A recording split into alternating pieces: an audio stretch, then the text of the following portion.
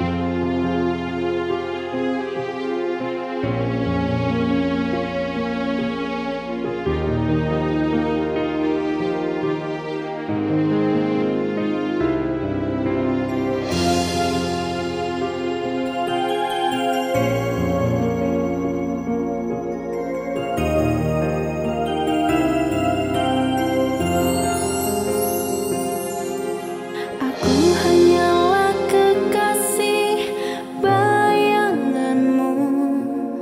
yang tak bisa memiliki utuh di